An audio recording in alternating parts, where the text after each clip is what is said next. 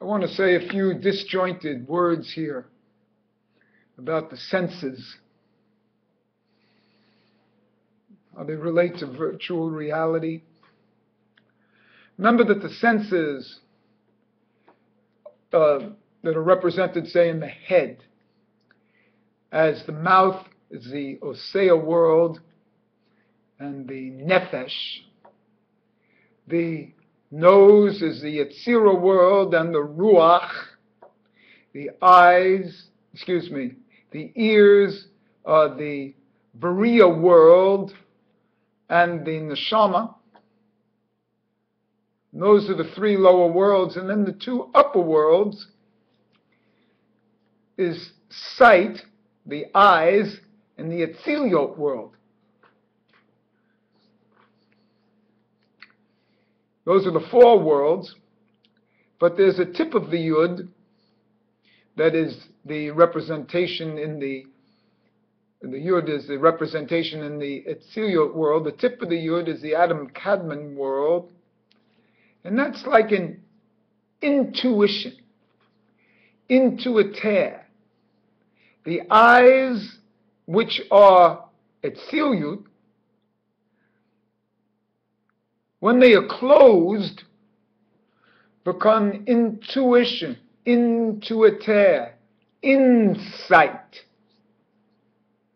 This has always been represented as the third eye, which is actually the tefillin itself. In a previous video, I've equated this with the hands.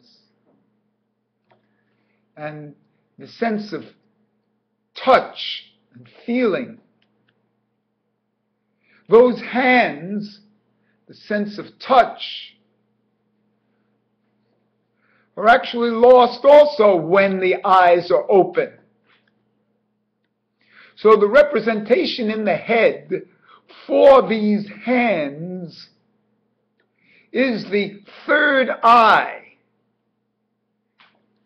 it's in the middle of the head where the tefillin is, center of the brain, the source of the drop of semen from the male, the dot of the bindu in Hinduism.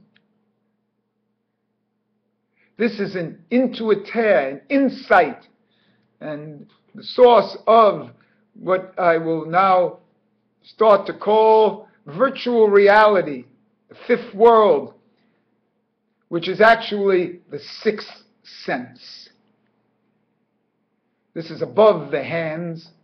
This insight, this intuitaire, is the sixth sense, linked to the hands, also linked to the eye. In normative Judaism, we've always known this. This is why we close our eyes. We put a hand over our eyes to say the first line of the Shema. Shema Yisrael Adonai Eloheinu Adonai Echad.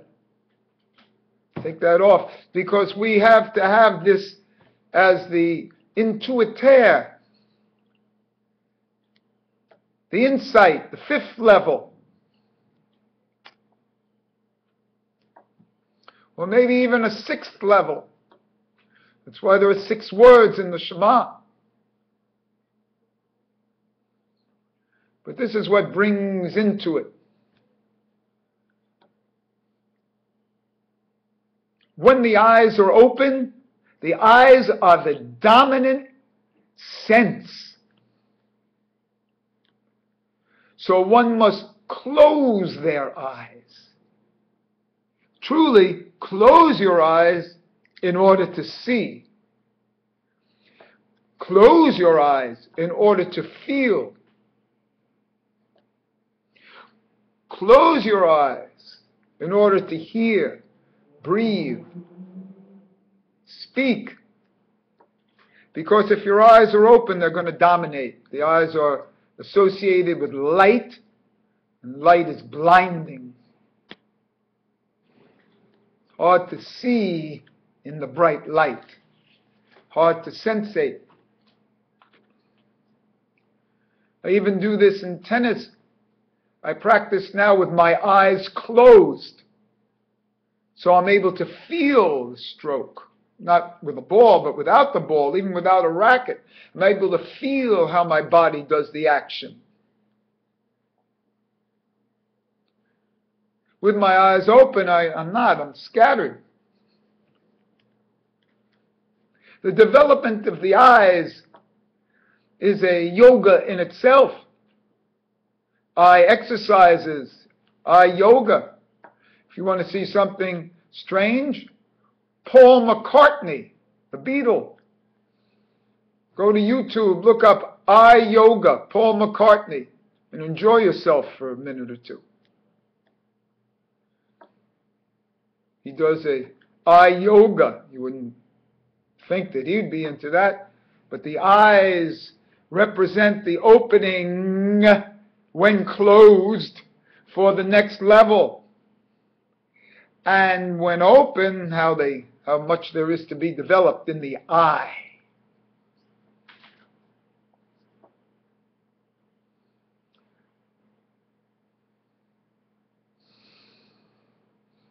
It's difficult to feel your breathing with your eyes open. It's difficult to meditate with your eyes open. It's difficult to open with your eyes open because there's too much impulse, too much stuff coming in. It's one of the reasons why sleep is the time of the coming in of the new soul. We are continually being created and recreated, and new aspects of our soul are create are coming in continually. But it's easier to feel this way in sleep and dream when the eyes are closed.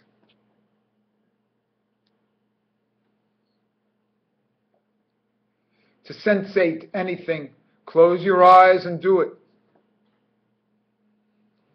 I used to read that they used to say about kissing.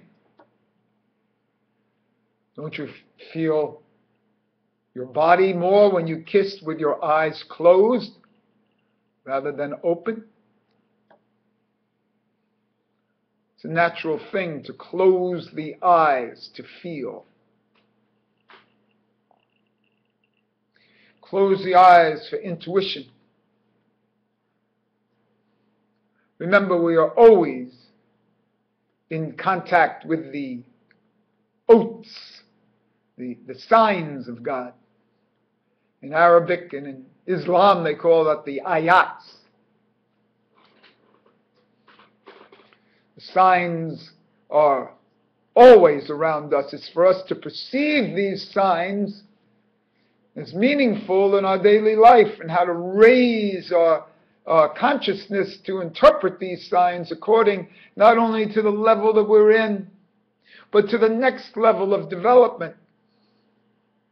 Our five aspects of the soul are always going up, each in its own way, plus each in its uh, uh emphasis way.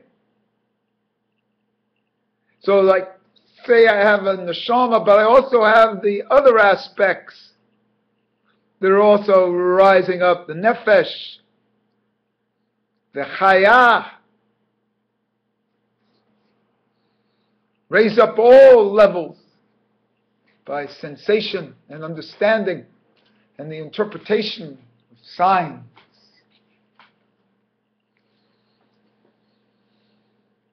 The Aleph is the representative of the godly soul, the hay, the representative of the animal soul.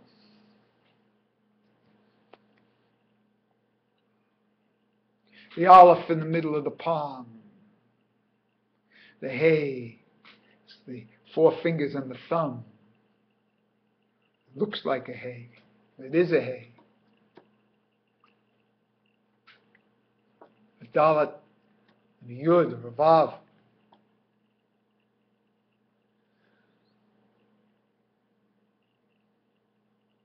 This 1 to 5 ratio is the secret of Shia Hasharim.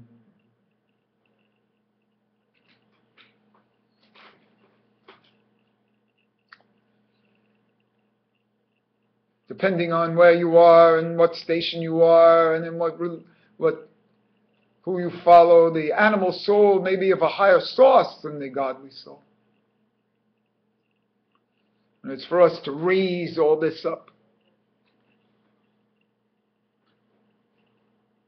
The animal soul is a manifestation of the strong desire within uh, the Ein Sof itself, a manifestation. That's its own feminine desire.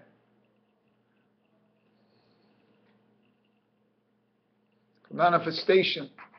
And it's for us to, for uh, up to us to manifest this down below, this urge that was in the original godly soul.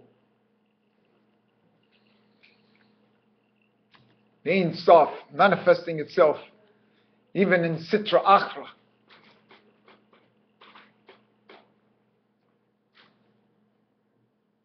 Intuition occurs when the eyes are closed to the outside and go into the inside. Every aspect of the senses in the mouth and nose and ears and eyes have this internal and external aspect.